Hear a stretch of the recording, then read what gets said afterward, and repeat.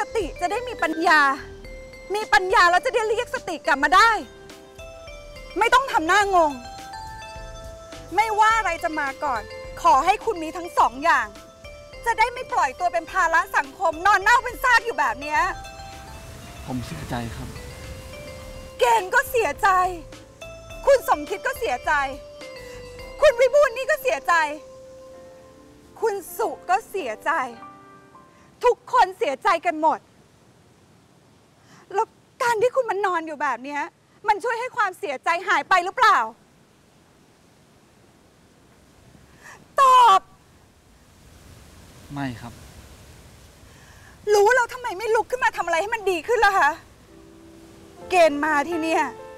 เพื่อมายกโทษให้คุณ เราต่างคนต่างไป ไม่มีอะไรติดค้าง